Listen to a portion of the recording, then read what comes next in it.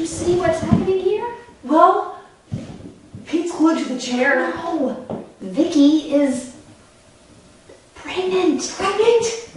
No. Try a new haircut, they said. What was I thinking? Is this the Kathy Griffin story?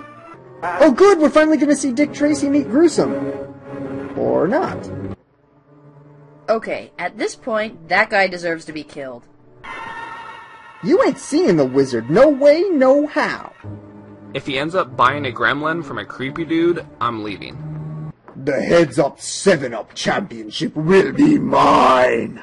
I just realized that even though we came awfully close, Dick Tracy has still not met Gruesome yet.